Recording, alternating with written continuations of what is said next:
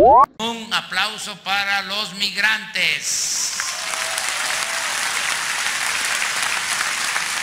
Ayudan mucho.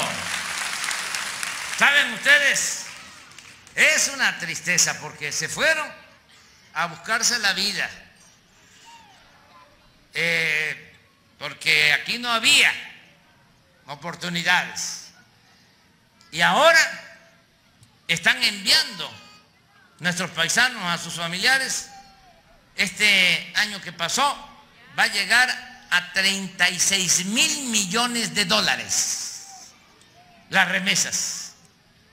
Eso que envían nuestros paisanos a sus familiares ya es la principal fuente de ingresos que tiene el país. Eso ayuda mucho, porque eso reactiva la economía abajo, reactiva el comercio. Eso ayuda mucho para que la gente no sufra, no padezca.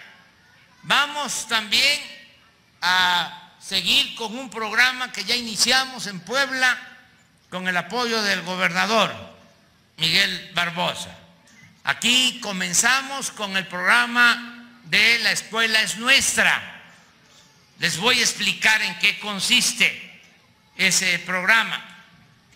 Cada escuela va a recibir su presupuesto para el mantenimiento y para la ampliación de la escuela construyendo un aula o construyendo los baños o lo que se requiere en cada escuela. Ya no va a pasar el dinero por todas las dependencias para llegar a San Pablito, sino de la tesorería de la federación a la sociedad de padres de familia. Cada eh, escuela, los padres de familia, tienen sus asambleas y van a elegir a un comité. Y ese comité va a manejar el presupuesto de cada escuela. Se va a entregar ese presupuesto de acuerdo al número de alumnos. Si son 5 a 50 alumnos, 150 mil pesos al año. Si es de 50 alumnos a 150 alumnos, 200 mil.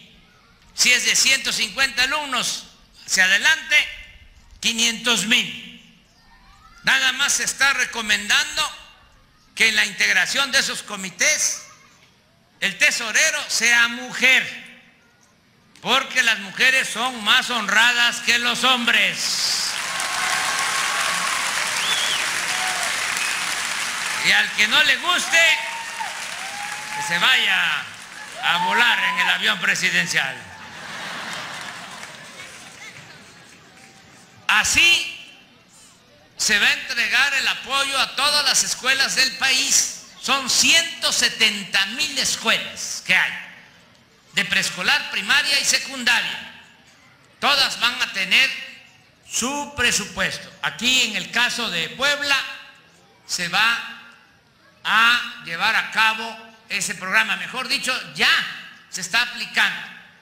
Porque le dijimos a Miguel Barbosa, Miguel, vamos a iniciar este programa. Sí lo dije en el Zócalo, Miguel, ¿verdad? Sí lo escuchaste. Bueno, este, le dije, vamos a la mitad. Que el gobierno de Puebla ponga la mitad y el gobierno federal la otra mitad. Y dijo, adelante. Y aquí fue donde inició ese programa. Todas las escuelas de Puebla van a tener ese apoyo. También les comento que vamos a iniciar lo de la construcción de caminos de manera conjunta. Ahora que estuvimos en Hidalgo, en Tenango, hice el compromiso de este camino hacia, hacia acá, hacia San Pablito, eh, de Paguatlán, que me lo pidieron. Lo vamos a hacer no como se hace siempre, que se lleva a cabo una licitación, una convocatoria y eh, gana eh, una empresa que muchas veces se ponen de acuerdo y lo, les entregan la obra porque dan moche,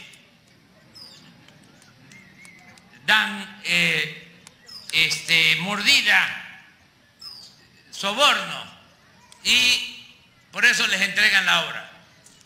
Y no hacen buenos trabajos, nada más una capita de asfalto y viene el agua, las lluvias y vuelve a quedar el camino de terracería. Ahora no va a ser así. Ahora vamos a entregar de manera directa el dinero a las autoridades de los pueblos. Ya lo estamos haciendo así en Oaxaca. En 15 días, dentro de 15 días, este próximo fin de semana voy a Chihuahua y a Sonora. Y el que sigue, eh, voy a estar en Oaxaca. Voy a inaugurar 26 caminos que ya se hicieron de esa manera, así, de concreto. Los hace la gente con revolvedora y trabajan hombres y mujeres y son unos caminos bellísimos bien hechos, son como obras de arte. En las redes sociales, porque para eso también trabajan las mujeres, las ponen a escoger las piedras. Ya ven que la mujer es más exquisita, más delicada, ¿no? El hombre más, somos más rudos. Y la mujer hace el trabajo de coger la piedra y ponen en medio. Ponen las piedras, en algunos casos hasta los pintan. Son obras de arte las que están haciendo. Allá en Oaxaca se entrega el, apoyo a las autoridades, presidentes municipales de usos y costumbres, y ellos se hacen cargo. Se le da trabajo a la gente, queda el presupuesto en la misma comunidad se reactiva el comercio, se reactiva la economía y se hace la obra. Así es que vamos a trabajar los caminos y esto lo vamos a hacer también en coordinación con el gobernador de Puebla. Todo esto vamos a ir realizándolo con el apoyo de ustedes. Por eso ven a informarles, ya están notando que están llegando los apoyos, nos ha costado trabajo iniciar todo, porque nos dejaron un elefante echado, reumático y mañoso. Pero ya lo estamos parando y estamos empujando el elefante para que camine. ¿Me van a ayudar a empujar el elefante? Eso es todo. Quiero también comentar esto del gasoducto. Miren, nosotros heredamos muchas cosas podridas, pero ya no es la misma política de antes, que han habido cambios. Les puedo decir que no hemos entregado ni una sola concesión para la explotación minera. En todo el tiempo. ¿Saben cuántas hectáreas concesionó por hablar de un gobierno? Felipe Calderón, 26 millones de hectáreas del territorio nacional. Bueno, de Salinas a Peña concesionaron 90 millones de hectáreas del territorio nacional. ¿Cuánto tiene México? ¿Cuánto es el territorio de nuestro país, de nuestro gran país? 200 millones de hectáreas. Y concesionaron 90 millones. El 40% del territorio nacional.